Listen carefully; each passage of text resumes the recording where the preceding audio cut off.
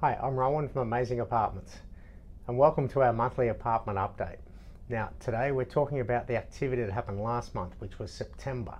There was 196 recorded sales in the suburbs that we monitor.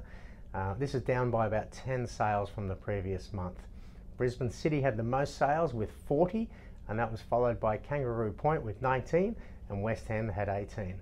We're still getting lots of questions from buyers and sellers uh, about the current state of play with the apartment market. So here's how we see it right at the moment.